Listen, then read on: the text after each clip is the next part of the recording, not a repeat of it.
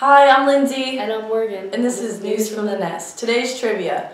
The most popular answer to what is the first thing you would do if you won the lottery was A. A new house, B. A vacation, C. An exotic animal, or D. Paying off loans.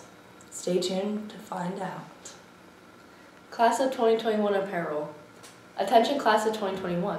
Apparel sales have begun. This year's apparel includes t-shirts, crew necks, sweaters, and sweatpants. Pick up a form on the 2021 bulletin board or outside of Miss Mostella's room 222 or Mr. Paley's room 217. FBLA. FBLA will be will have its next meeting on Tuesday, February 19th in Miss Dewberry's room, room 213. The Quill. The Quill Literary Magazine accepting poems and short stories for the spring edition. Any works may be shared with Miss Graff or submitted to the Google Classroom, code KQQHP1K. Teen Arts. Attention all creative and performing arts students. This year's Teen Arts Festival Festival and April Farm is quickly approaching and your art, music, and creative writing teachers are looking for your best submissions. If you are interested in submitting work or preparing performances, see Mrs. Y in room 310 for more information. Valentine's Day flowers.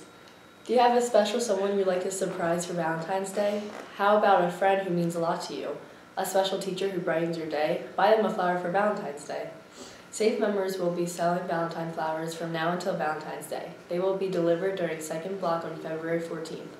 Ask the Safe member to stop in or see Miss Robenthal in room 107. It is $2 for a carnation and $3 for a rose and a kiss. Each rose will be will include a Hershey's Kiss.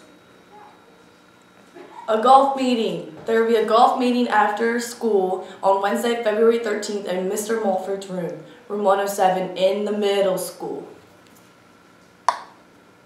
Spring track. There will be a boys and girls spring track meeting Wednesday, February 13th in the cafeteria right after school at 2.20. And the answer to today's, to today's trivia question is D, paying off loans. Now over to Trinity with lunch. Thanks, Lindsay and Morgan. Today's lunch. Today's lunch is banging shrimp over rice or a corn dog, and featured veggies are steamed broccoli, carrot sticks, and your choice of milk or fruit. Now over to Trinity with the sports. Today's sports. Boys varsity basketball versus Hamilton at Hamilton High School. Now over to Morgan with the weather. Thanks, Trinity. Today's weather is snow showers with a high of 39 and a low of 29. Tomorrow's weather is also snow showers with a high of 38 and a low of 35. Now back to the table. Thanks, Morgan and Trinity. I'm Lindsay. And I'm Morgan. And this was News from the Nest. And a big shout out to our girl, Mac James.